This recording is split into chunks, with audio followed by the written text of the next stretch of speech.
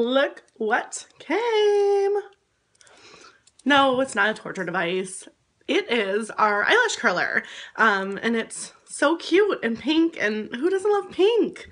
Um, I used to be afraid of this and I know some of you are afraid, but after this, um, you're not going to be anymore. Um, I've been getting messages um, saying, you know, I can't curl my lashes with an eyelash curler because they fall out. Um, and I'm here to show you that they won't fall out. Um, this is actually, I just got this yesterday, but I was sick.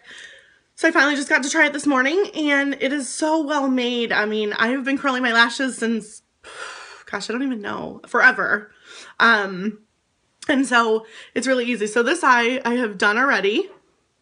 Um, and I'm just going to show you on this eye. You will never know that I have mascara on this eye because my lashes are really, really sad when I have, when they're not curled. And then I have happy lashes on this eye.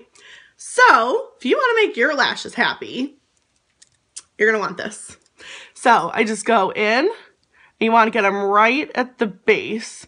If you go in and you just get them like right at the tip, you're just bending up just a little bit and that's really not going to give you much of that curl that you're looking for.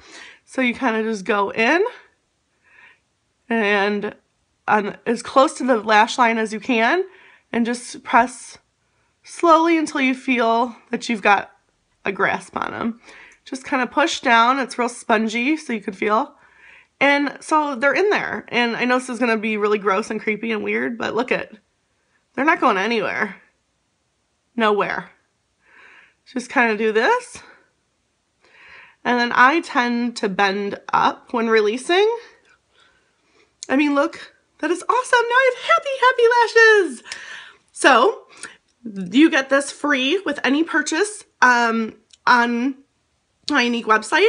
This is our January kudos. Uh, you still have a little over a week to get it, so go get it.